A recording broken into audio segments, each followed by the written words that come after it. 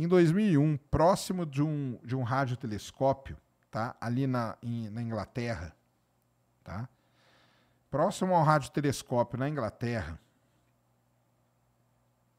apareceu o que a gente conhece como a resposta de Arecibo. Isso mesmo, meus amigos.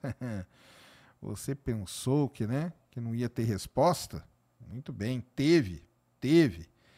Então é o seguinte: em 2001, é, pesquisadores amanheceram um determinado dia. Eu vou falar aqui o nome certinho para vocês do lugar, tá? Os pesquisadores amanheceram num dia bem tranquilo, num, num lugar chamado, num lugar chamado é, perto de Winchester, em Hampshire, tá? E na verdade em agosto de 2002, tá?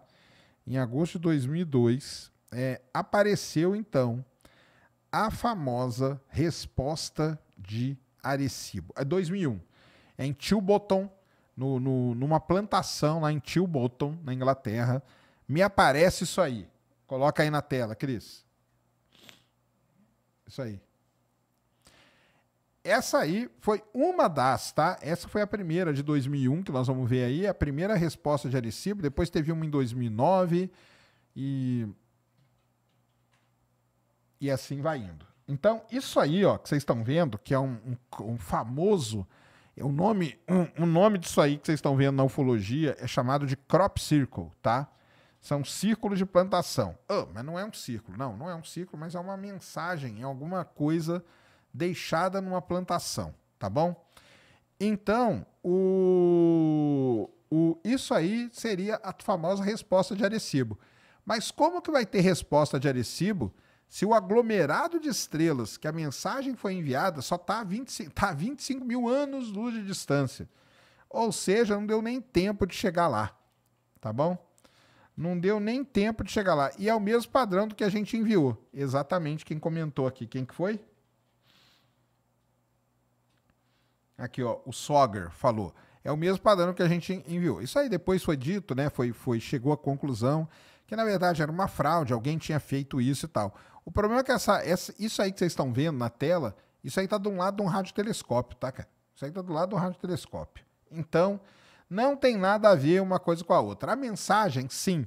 E depois da mensagem de Arecibo vieram outras tentativas da gente se comunicar com alienígenas. Por exemplo, o disco de ouro da Voyager é uma dessas tentativas, tá? É, que mais que veio? Veio vários programas agora. O ano passado teve um programa que mandou um sinal para uma estrela a 78 anos luz de distância. Então a gente foi tendo várias e várias tentativas, tá? Várias e várias tentativas. Isso aí, Renata. Renata foi lá pesquisar, ó. Messier 13 é o M13, também designado como NGC, às vezes chamado de Grande Aglomerado Globular de Hércules. Isso mesmo, é isso aí. Então é isso. A mensagem está fazendo 50 anos. Como foi a nossa enquete aqui? Ó, você mandaria uma mensagem para o universo avisando onde nós estamos? Sim, 42%. Não, 58%. Então a maior parte aqui dos ouvintes do Ciência Sem Fim nesta noite não quer mostrar. Quer dizer que vocês têm que confiar na humanidade, hein, cara? Vocês confiam na humanidade. Vocês não são igual a chinesinha do problema dos três corpos.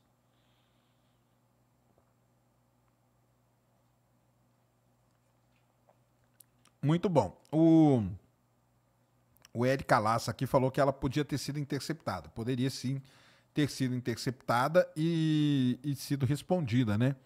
Nesse meio tempo. Mas mesmo assim, cara, 50, 50 anos, né? Então, quais são as estrelas que estão num raio de 50 anos-luz do Sol? Não são tantas assim, tá? Então, esse é o negócio. Então tá aí a mensagem de Arecibo fazendo 50 anos de uma das primeiras tentativas de nós, seres humanos, nos comunicarmos com uma civilização alienígena. Será que algum dia vamos conseguir essa comunicação? Não sei, acho difícil. Mas tentativas não faltam. O problema é que eles não avisam pra gente, né?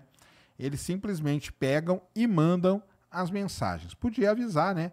Podia fazer uma enquete mundial. Vocês acham que numa enquete mundial é, a, a humanidade como um todo, ela aceitaria mandar uma mensagem para os alienígenas? Será? Então, fica aí essa dúvida, tá bom?